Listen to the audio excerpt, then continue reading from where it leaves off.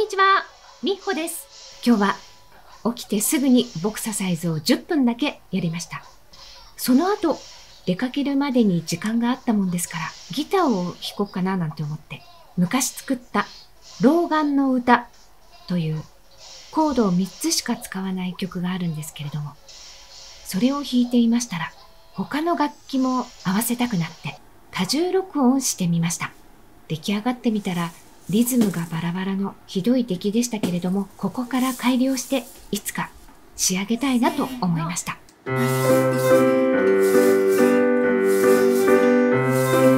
時間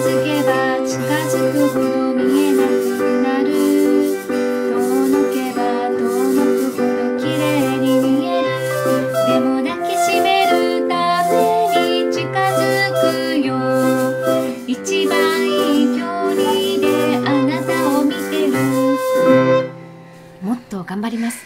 じゃあ今日はこの辺で。バイバイ。